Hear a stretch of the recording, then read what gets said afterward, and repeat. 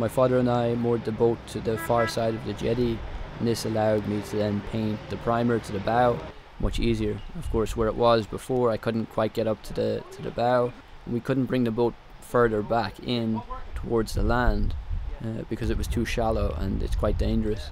I didn't want the outdrives, of course, especially with one outdrive leaking or one of the what we assume is the bellow of the outdrive. You know, we don't want to take any risks. Your man travels from Burnley, he was told he was working on one of the boats.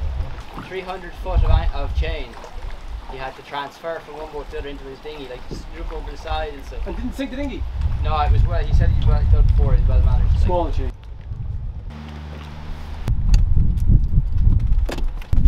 So with this primer, you can't put epoxy or epoxy filler over the paint, of course.